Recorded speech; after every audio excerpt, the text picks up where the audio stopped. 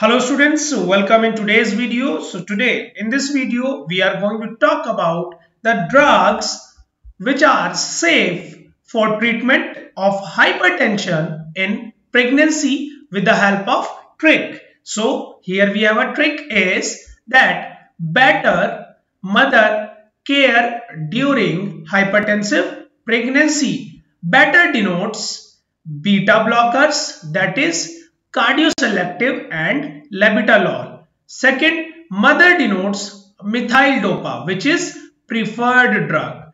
Care denotes clonidine.